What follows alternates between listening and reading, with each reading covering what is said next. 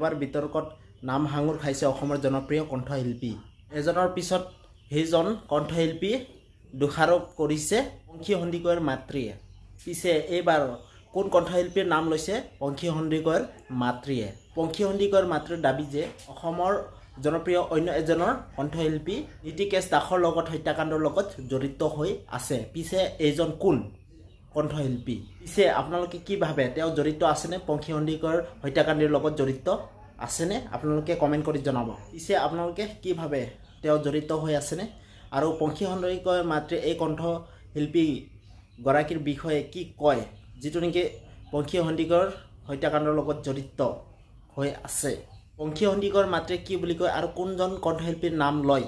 জানি শুনি আপুনিও আচৰিত হ'ব। এইজন কণ্ঠশিল্পীজনৰ নাম।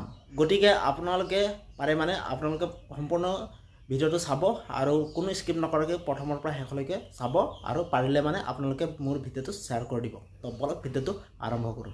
পংখী সন্দিকৈৰ মাতৃয়ে যে তেওঁ কৈছে যিটো নেকি জনোৱাই হৈছে তেওঁ সামাজিক মাধ্যমত তেওঁ প্ৰকাশ কৰিছে যে এই নৰপিকাছজনৰ লগত যিটো নেকি নীতিকেশৰ লগত গায়ক বা গায়িকাই আপোনালোকে দেখিছে ফটো চটোবিলাকত তেওঁ নাম লৈছে যে যিহেতু নেকি নিৰ্দি।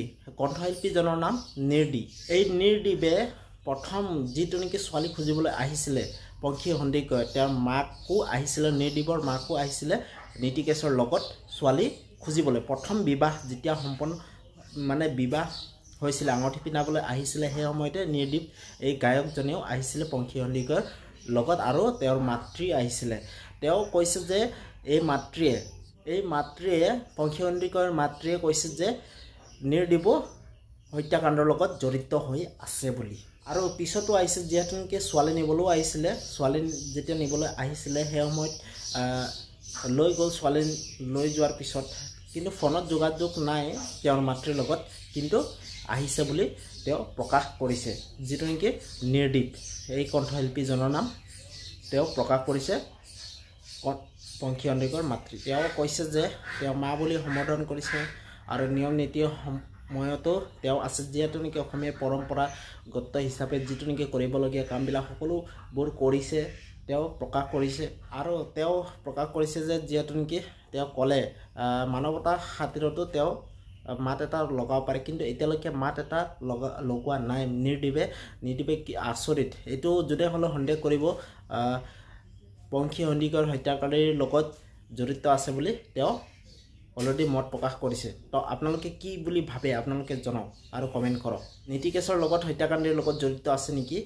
এই নৰপিকাছটোৰ লগত হত্যাকাৰী এই কণ্ঠশিল্পীজনে তো আপোনালোকে কমেণ্ট কৰি জনাওক। কোন হ'ব পাৰে?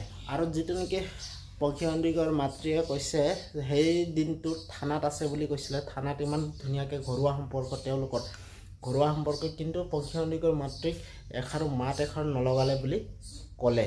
তেওঁ কৈছে যে মানৱীয়তাৰ ক্ষেত্ৰত মাত এষাৰো লগাবলৈ নোৱাৰিলে নেকি বহুতো ডাঙৰ কথা আৰু নীতিকেশত যিহেতু নেকি কেছত সেই সময়তে থানাতো গৈছিলে এই নিৰ্দীপ বুলি কণ্ঠশিল্পীজনে কিন্তু মাত এষাৰ নলগোৱাৰ কাৰণে তেওঁ দোষাৰোপ কৰিছে যিহেতু নেকি এওঁ আছে নেকি বুলি দোষাৰোপ কৰিছে।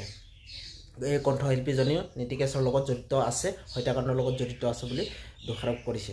সেইটো কাৰণে সেইটো কাৰণে ক'বলৈ পালে যে যিহেতু নেকি মানৱীয়তাৰ ক্ষেত্ৰতো বংশী সন্দিকৈৰ মাতৃৰ লগত কথা নাপাতিলে আৰু সেইটো কাৰণে তেওঁ ভাবিছে যে অলপ হ'লেও বংশী সন্দিকৈৰ হত্যাকাণ্ডৰ লগত জড়িত হৈ আছে এই নিৰ্দীপ কণ্ঠশিল্পী এই গায়কজন তো আপোনালোকে কি বুলি ভাবে? পিছে এই নিৰ্দীপজন নীতিকেশৰ লগত জড়িত আছেনে? কিন্তু আপোনালোকে আপোনালোকে কওক এজনৰ পিছত এজন যিটো নেকি প্ৰমাণ নোপোৱাকৈ এনেকুৱা দুখীয়া সাব্যস্ত কৰাটো প্ৰয়োজন নে?